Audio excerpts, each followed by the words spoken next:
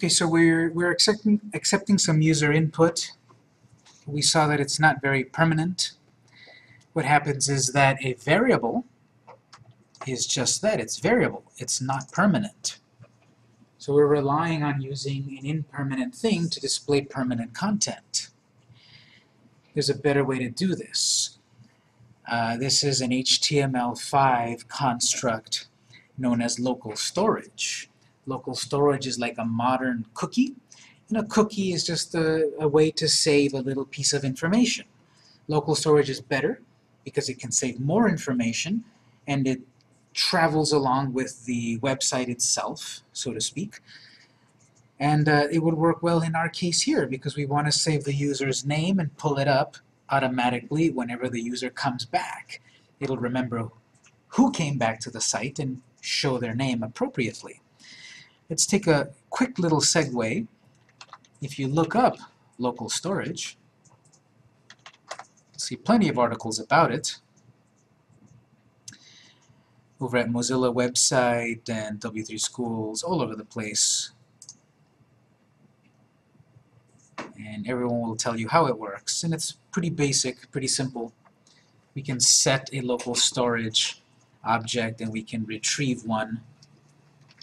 We're going to see some syntax that looks like local storage dot set item um, name of the object, value of the object.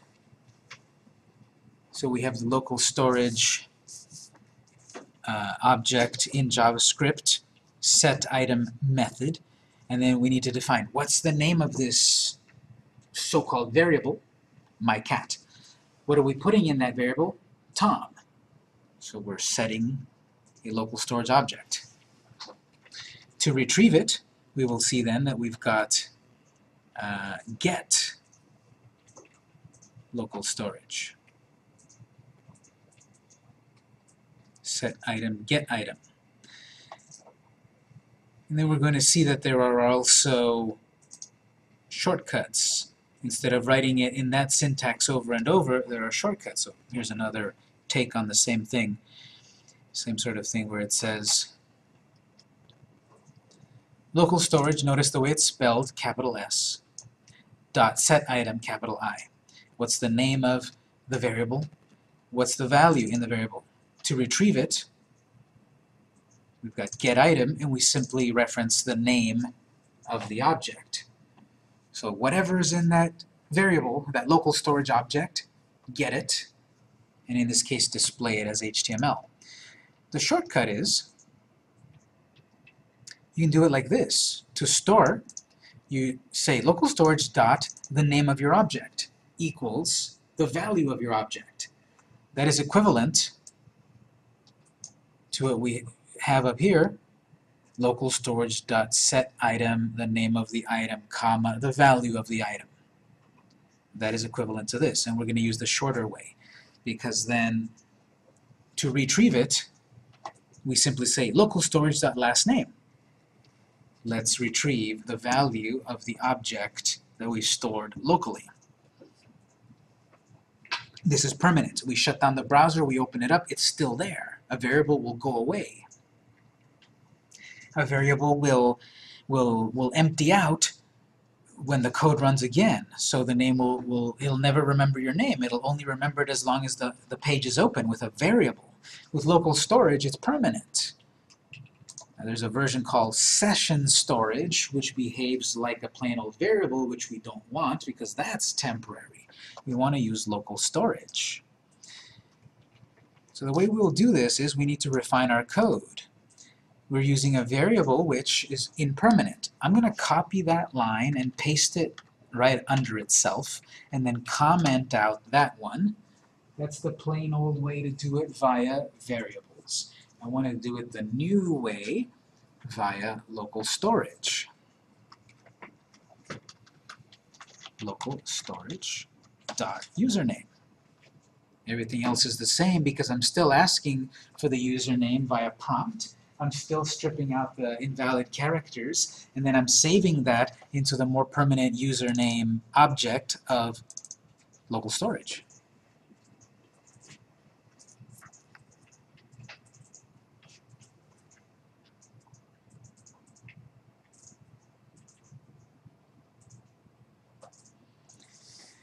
Now, what we need to do though, whenever we want to call what's in username, we have to say local storage dot username.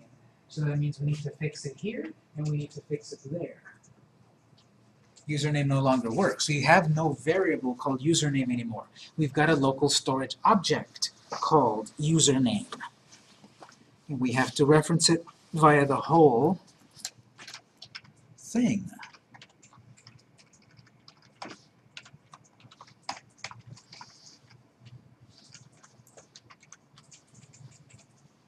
That'll change to our code there.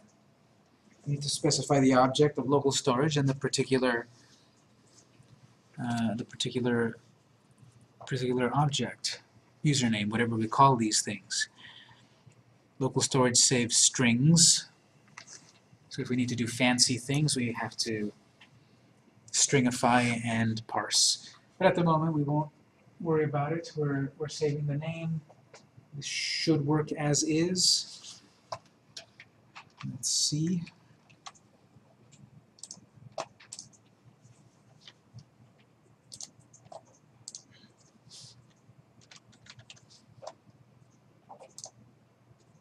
Console is telling me John, display is John, but it's working via local storage. If I, um, we're not quite there yet, but if I refreshed it, the name would still be there. That hasn't quite been programmed yet. It is saved in there. We can confirm that by looking at the resources, the local storage file. So internally, the web browser is saving that value, John. It's not displaying it. We haven't programmed that. But if you're curious, we're in the console of the developers panel, and if it's hidden, there should be a resources tab. If you don't see resources, it's hidden in the double arrow. Select resources, and here's where you can look at all of the web SQL databases, IndexedDB databases, cookies, session storage, local storage. Inside of local storage, this particular file has a key of username and a value of John. It did create the local storage object and saved it.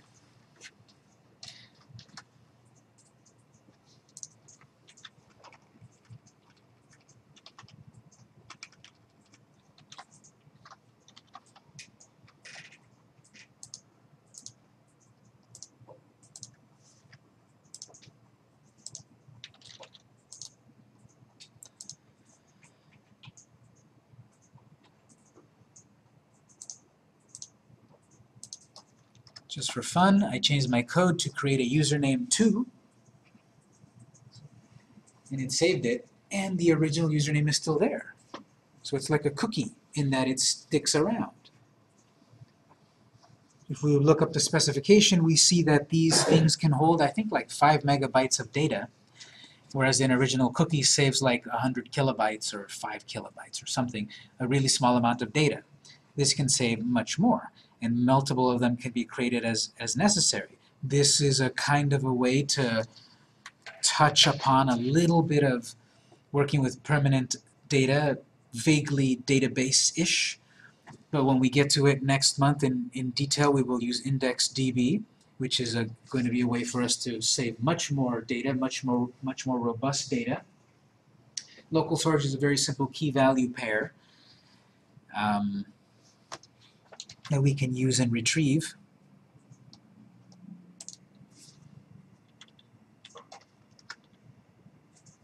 And that was our change to our code right there.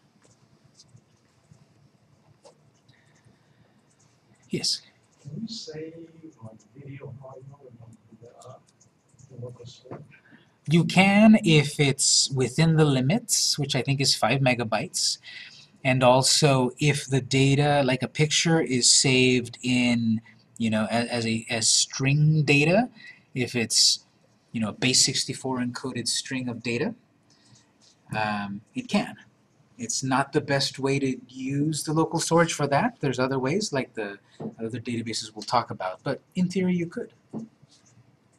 So I can't say a PNG file. it can. It can save that stuff, but it, it has to be first encoded. The PNG has to be encoded into a, a string of base 64 encoded data, which is just going to be, you know, random letters and numbers that represent the ping, and then that data can be saved in the local storage object. Sure. Okay, so um, we've tried to do a little bit of uh, error checking with input. I also want to deal with, remember you can click OK, and nothing will get put into the box and it'll accept it. You can press cancel and all of that. So um, what I want to do is a little bit of a little bit more error checking. If there's no valid name, then don't display anything. It's going to want to display comma exclamation point, even with an invalid name. So I want to do a little bit of error checking here. This will be some simple if, else statements. If bad input, don't use it. If good input, then use it. So let's write this before before printing to the screen. We need to check if we have valid input. So we will write the skeleton of if open close parentheses, open curly brace, enter, close curly brace, space else, open curly brace, close else, curly brace. If else. There's basically two things that can happen here. We're checking if something is going to be true. If it's true, then it will do what's in the first block. If it's not true, it must be false. So then it'll do what's in the else block.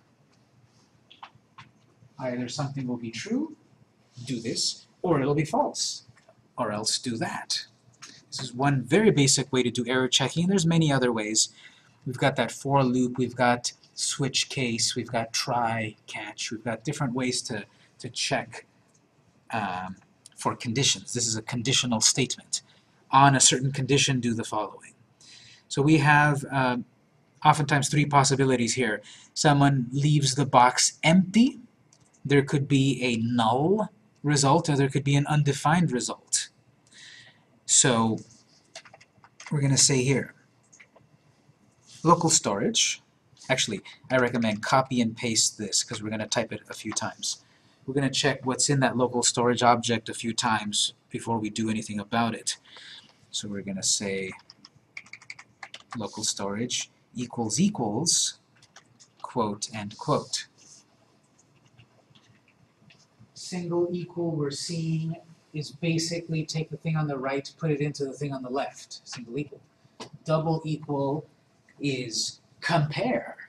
Compare the thing on the right with the thing on the left. If local storage has a value of nothing, we've reached truthiness. Um, so it could be that local storage is empty like this, or that it's not empty. That's the if, that's the else. But what could happen is that a person could cancel. If it's canceled, then it's null. So I want to check, well, is it empty, or is it null, or is it undefined, or something else? So what I'll do is actually, let's wrap parentheses around this this is sort of like the order of operations when it's 1 plus 2 times 3 divided by 4. There is a specific value, I mean the specific order that you have to do that in. You have to do division first, multiplication, left to right, all of that. So if we put parentheses around this, we, we can force this happen, this statement to be evaluated first. I want to check, is this statement true or false? Space. Notice I'm still in the I'm still in the outer parentheses of the if. Space there, and then we'll type or. We're going to say either this or this or this. And or is written with two pipe characters. Pipe characters are backslashes that you have pressed shift. They're right next to the square, uh, right next to the square bracket. There's a backslash. If you shift backslash, you get pipe A vertical character, you need two of them, no space. That means or. If this is true, or this is true, Another couple parentheses here. Local storage again, equals equals, null.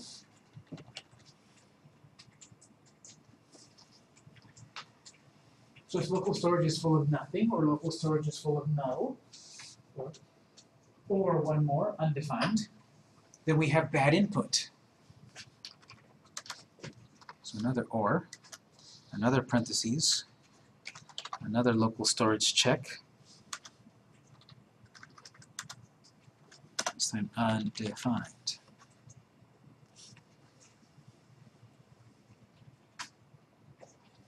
We're checking three possibilities at once here. There could be other possibilities as well that we'd have to think about. That's what beta testing is all about. There's so many ingenious fools. Hopefully you can see that it's a long line. So I'm checking three possibilities.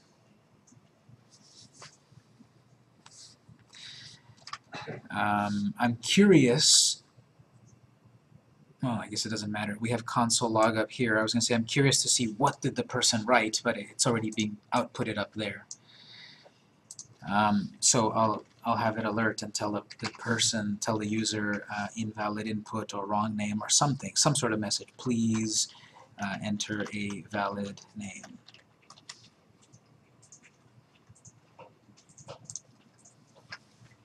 So this is within the if block. If any of these are true, do the following. Uh, if any of these are true, we've made an error.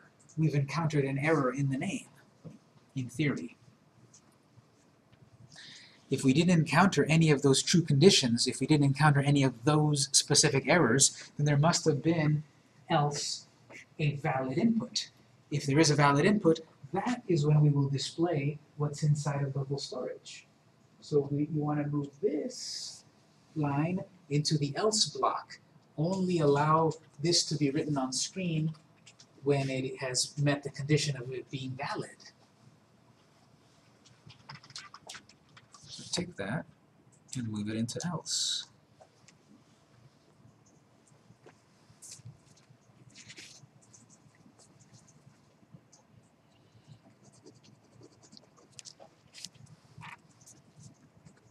So give that a try. If you put in invalid characters, I think if you just put like a question mark, it should pop up to tell you, please enter a valid name.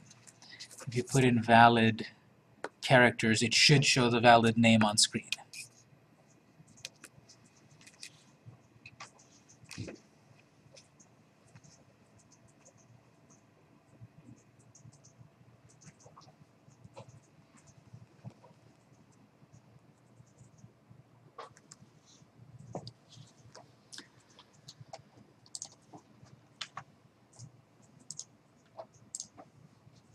So if I just click OK, please enter a valid name, because what was captured was empty, quote, end quote, nothing between the quotes, it's empty, so it said valid name.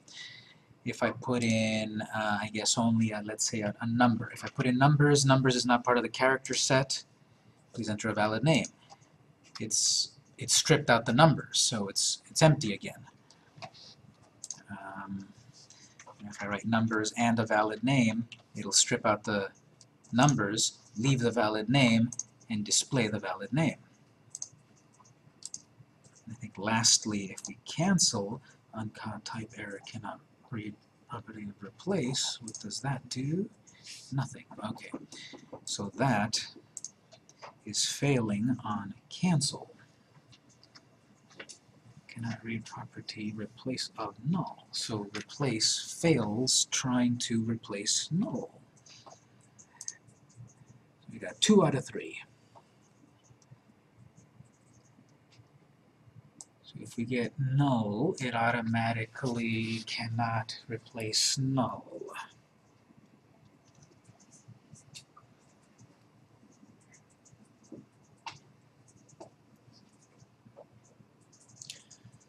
Well, I suppose hmm, what we could do is see the importance of beta testing. What about if you make it replace at the end?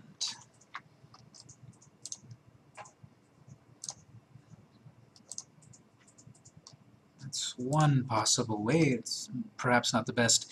I'm having it do replace at the moment that I'm going to display it. So it is accepting any crazy thing that they put in. It is saving it into local storage, which might not be the safest. But at the moment that I'm about to place it, notice I moved replace, dot replace. I moved that away from the moment of prompt. Because replace can't replace a null object. It's null. You get the error. Here it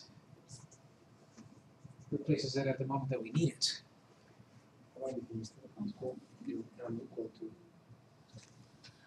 How much would we have to rewrite about all of this if? A, a lot of it. would-.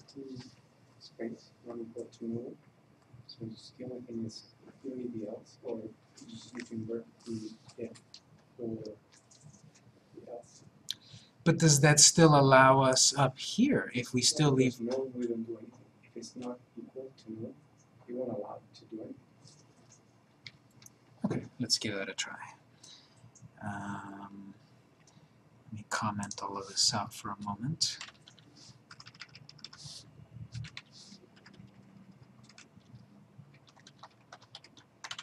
if we leave that as is,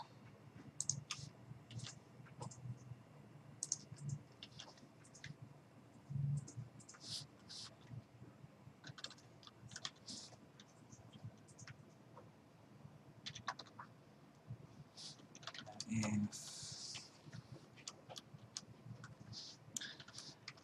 we do that,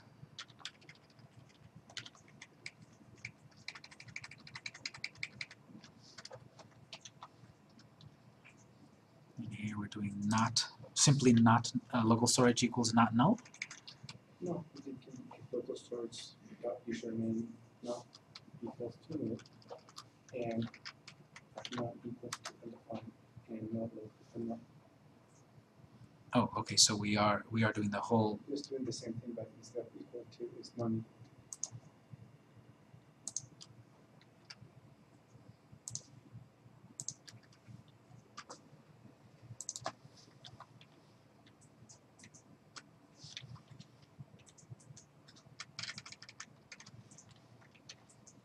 did I misspell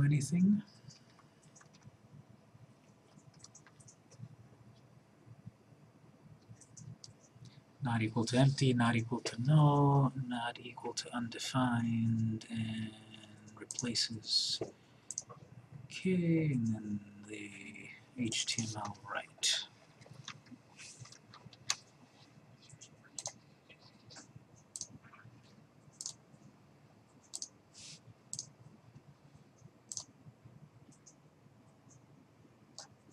Mm, Unless I mistyped it, it's still not liking that we are passing uh, null into it. It's not even going to accept it. It's like we're using the wrong method. We, we, we simply don't seem to be able to use the replace method upon null, and it just crashes at that point. is null, right? I mean, when you click cancel, means null. When we click cancel, right away it passes back null. Okay, So- so if it's not null, then do it. It's null, don't do anything. That's what I've been saying right now, so something is missing. Something is missing. Did you get yours to work in that? I did. I don't have the alert yet. You're telling me. It doesn't do anything. Can I take a quick look at your code? Maybe I mistyped something.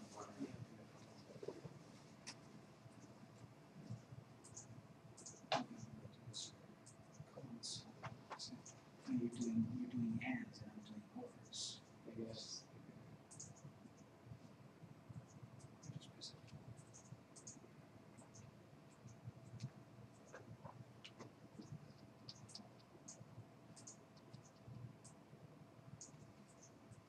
Same here, and I'm saying, but what's the result? It'll go here back Yeah, it doesn't do anything.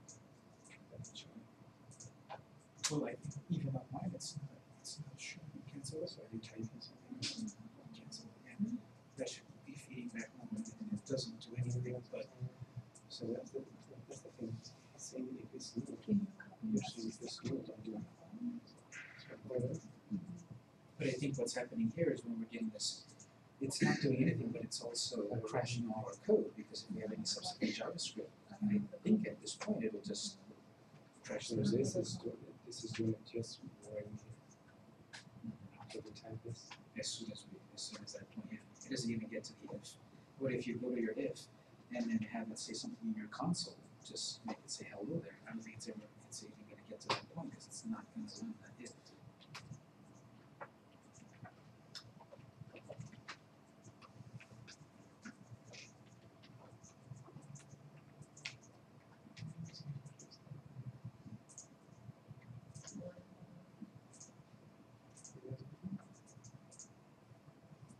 It's not getting to me.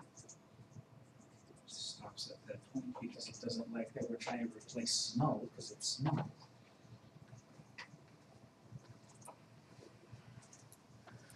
So, um, yes, So the navigator now should be put inside the code just by itself. yeah, I do have a quote there, um, Code to be put on the street. Now itself is used. mhm.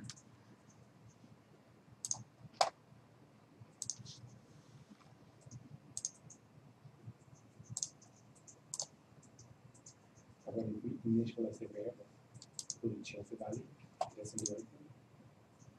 Like initialize username to empty string. But it's not exactly, well, yeah, what we could do is beforehand, um, set that up here, initialize that to empty, like that, so we're initializing it that way. It's gonna change the value. That is-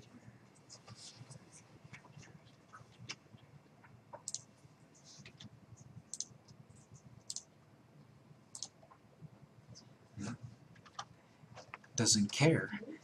So um, what probably we'll have to do is we will have to do replace secondly, capture it, then do replace once we've got it, but then capturing possibly bad input. So for the moment, I'm going to leave my code down here where I'm doing it at the moment that I need to write the HTML. I'm sure we can figure out a better way a little later, but just so that it works.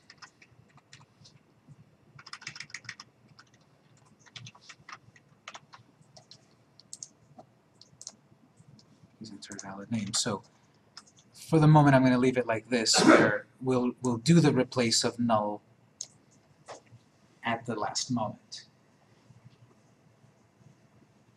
Yes. I've seen some, some JavaScript code that use triple or like that. Yeah, um, the double is that it's gonna check if this object is the same as this object, regardless of its type. This type could be a type of number, and then I'm trying to compare a number with a string. If we do the triple equals, it's gonna compare, is it also a number and a number? The data type, exactly. You got it? You got it to work? Okay. The says no when you enter no entry. So your console, but your console is not complaining about. Oh, cool. Let me check yours one moment. Um, I don't think there's any difference with checking type as well. But yeah, the triple equal is to also check type. Um, I wasn't checking type.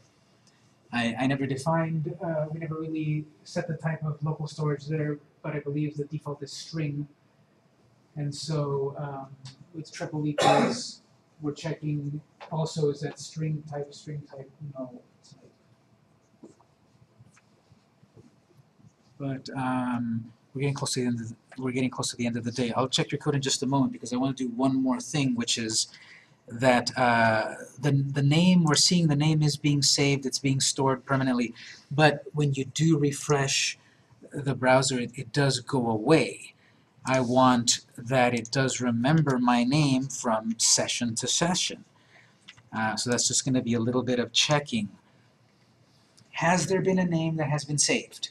If there has been a name saved, retrieve the name and display it. If there has no name, if there has not been a name saved yet, don't retrieve any name. Wait until someone puts a name. So we'll need to check here. We'll need to create a, a way for it to check. Is there a valid name to display? We've got a function to get name, get the name from the user input. But is there a uh, is there a valid name to display? So after the end, now we're going to break out of that function of get name. In my case, it's line 18. We go after that function, we need to define a new function to load a name. If a name exists, load it. If a name doesn't, don't worry about it. Function, load name,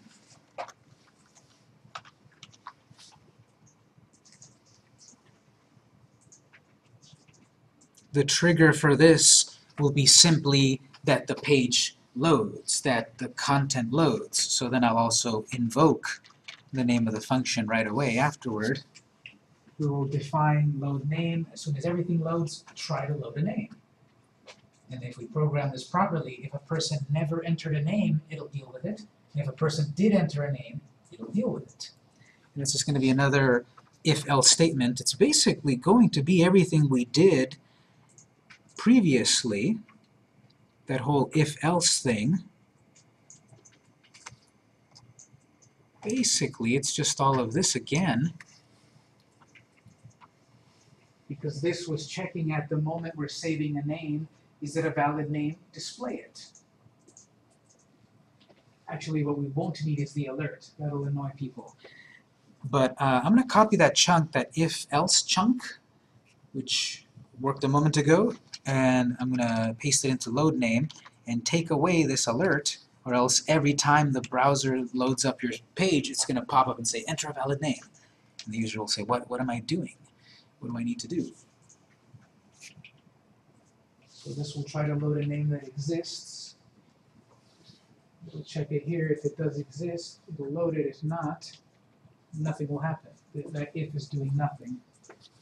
Um, I'll make it put to the console, has there an, a name, has a name been saved? Most likely not. That's why it, it tripped to the if portion.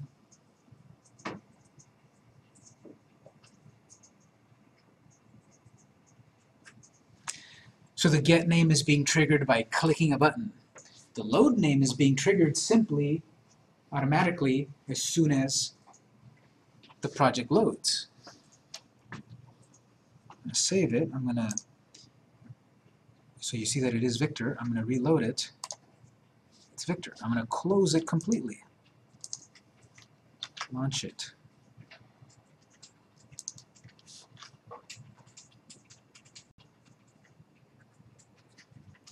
I'm launching it one more time from scratch, not my JavaScript.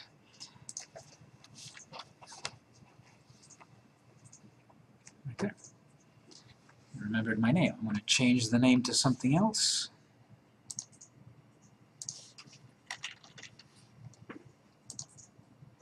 I'm going to close the whole browser completely, run it again. It's invoking load name right away. There is a name to load, so it loads it. To test how this would work the very first time, you have to go over to the resources, the local storage, and delete those local storage objects.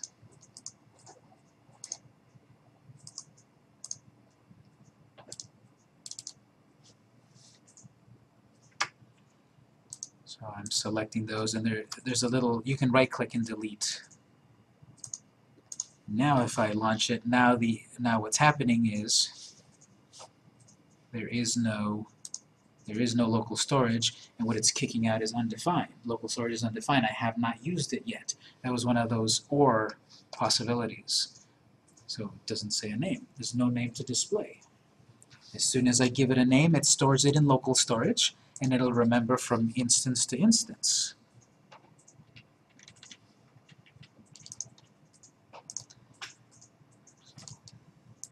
Close it, run it,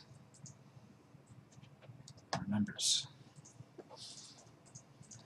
And that's simply uh, another another function that runs automatically doing the same if else checking and displaying it. Yes. Is the username global? Can you use it between different apps? No, lo- uh, username is local storage and it's only tied to this file. It's part of the security model that it has in an attempt to be more secure so that you don't have cross attacks with traditional cookies. Whatever's created in local storage only is accessible by this file. Um, that's good and bad, of course, because then I can't pass this data to another file. But there's ways around that that we can get to later.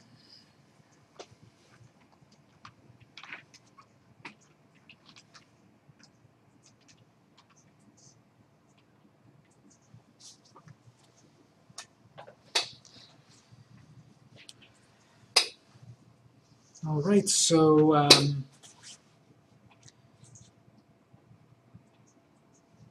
as we're seeing here, the uh,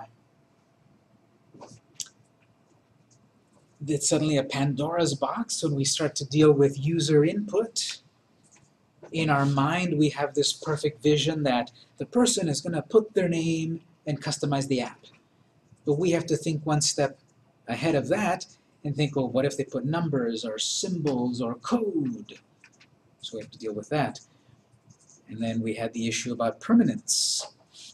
We introduced local storage. This is still not quite perfect. We can still spend time to figure out every nuance of it. It's okay for the moment, but we can probably come back to it later to, to more fully polish it. Um, any general questions about we've, what we've done so far? So we're on no thing. One way around it, what I did was instead of having replace attached to prompt, I attached it to the part where it says HTML username. And then it seemed to be okay with it.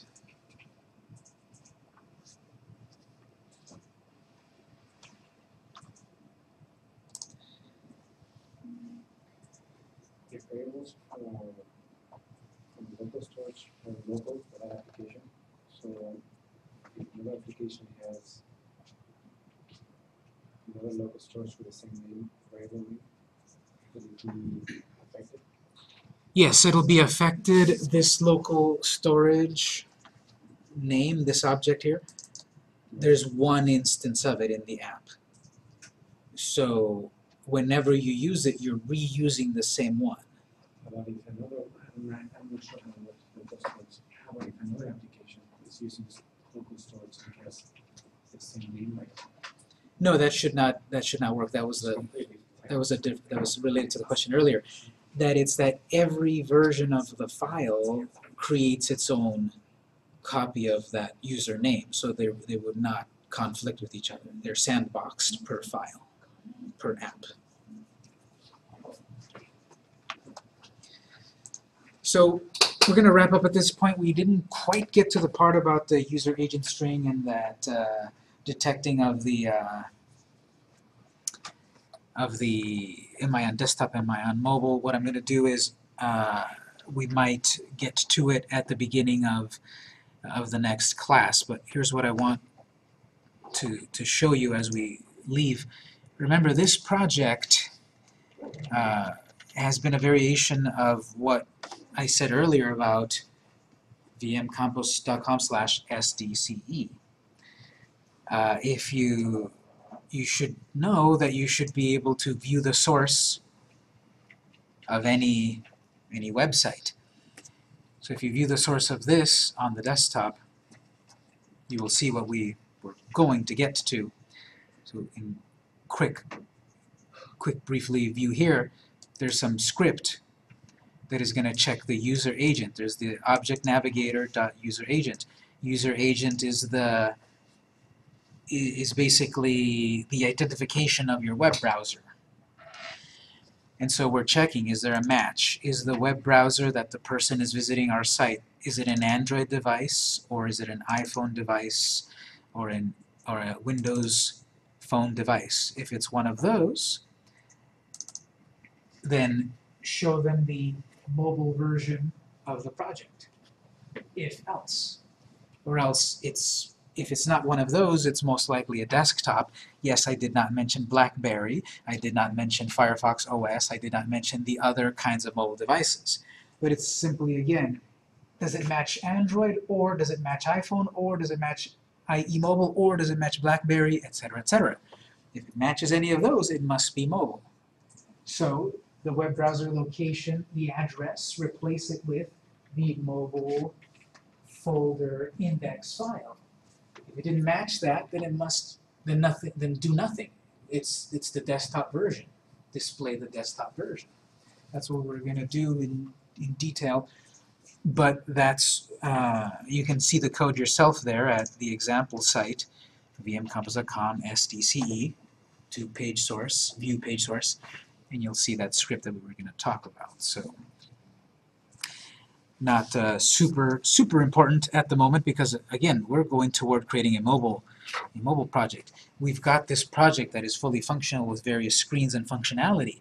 Next month, next week, now we're going to start to talk about all of that we need to know and all the software and setup and such to create the mobile uh, app, the, the app version, the Android app, the iPhone app, the, the Windows app.